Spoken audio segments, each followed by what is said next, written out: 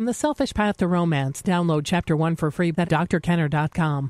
Here is a question that I received uh, from an elderly couple. Dear Dr. Kenner, my husband and I are senior citizens and live in a very aggressive area.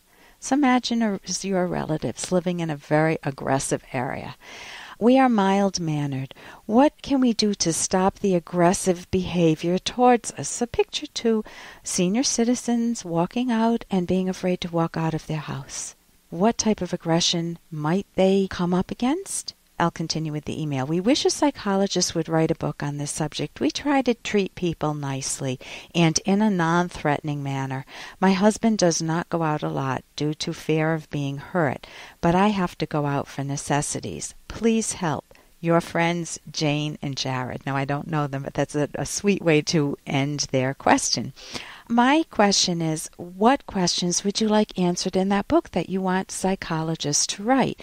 And what comes to my mind are the typical questions who, what, when, where, why. and you want to throw in how you can. The first thing that, that, it, that I would ask myself, or if you were my parents, I would ask is tell me who is bothering you? Who? Is it everyone in the neighborhood, or are there a bunch of good folks, and really it's only uh, three kids, three punk kids, or maybe it's an alcoholic on the corner, or maybe it's a street gang, or maybe the neighborhood is an inner city neighborhood and it is very threatening. Maybe you feel picked on all the time and they say nasty things, they call you names, you you you name it. You know, how do you go out when you know that you're you're just going to be filled with anxiety? So first limit it to who? Who is doing it to you? You may even be in a college town. It may be a fraternity next door, and they get they go on these drunken crazes or something. Not that all fraternity guys do this or uh, sorority gals, uh, but I don't know what your situation is. So you want to ask who is doing this and name that for yourself because you want to get a specific strategy to deal with your particular problem. Then you do. Then you ask yourself the what question. What do they do? Do they just use foul language? In which case, maybe you can just ignore it. Just listen to. them. Maybe you can get an iPod. I know you're a senior citizen, but get maybe you're already up there with the technology, and you can just listen to music very subtly and not pay attention to them. Um, what do they do? Do they steal? Do they call you names? Do they try to punch you or kick you around? You know, what is the actual threat? Uh, that's another question, and, and I'll come up with some solutions in a moment. The third question would be who, what, when? When? When do they do it? Is it early in the evening?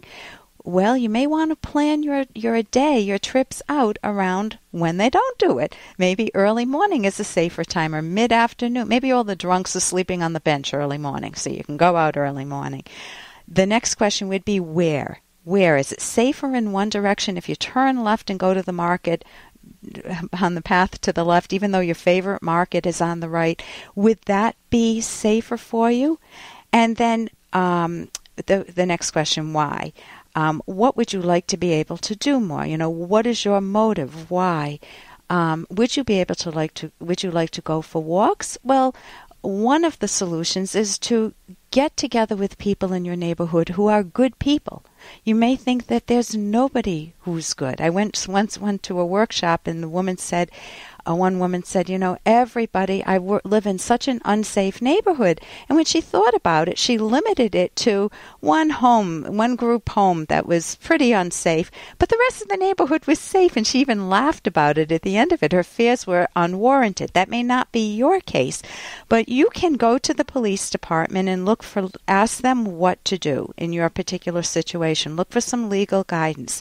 Um, you can go to websites. There's a website on the Council National Crime Prevention um, Council website that you can go to, and what they say is that knowledge is the best antidote for fear.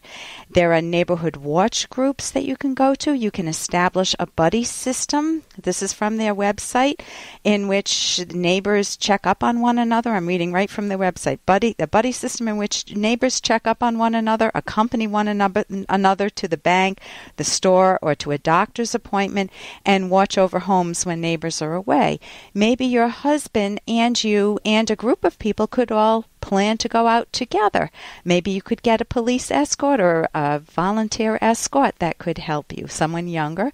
Maybe you can learn some self-defense for the for the elderly or seniors too. I know when I worked with a very difficult population, we even carried a little button called a distress alarm.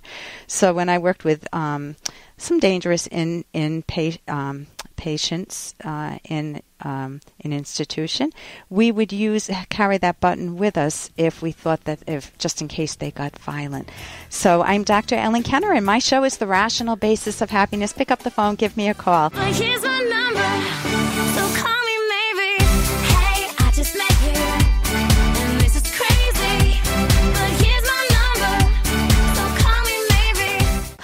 And stay tuned uh, because later on in the show, if you are under a lot of stress and you don't know how to cope with all the demands that are placed on you, I will be talking with Dr. Ed Locke, who is an expert on stress and coping, and we will discuss important ways to reduce the stress in your life. Live a little. Here's an excerpt from The Selfish Path to Romance by Doctors Kenner and Locke. Most couples make precious little time for romantic moments. Making a relationship work and keeping the romance alive takes motivation, time planning, and communication. Even small misunderstandings can destroy a romantic moment, and accumulated, festering misunderstandings can destroy your romance. When you are juggling dual careers, work schedules, kids, paying bills, in law visits, checking email, doing laundry and dishes, and getting daily exercise, how do you find the spare time for romance? Romance. Notice a problem with the way this last sentence was phrased. Spare time? What ranking was romance assigned? Where did it come in terms of priorities? It is true that active, productive people have to make time for sex, but intimacy shouldn't be relegated to the category of a spare time activity. You can download Chapter 1 for free at drkenner.com, and you can buy the book at amazon.com.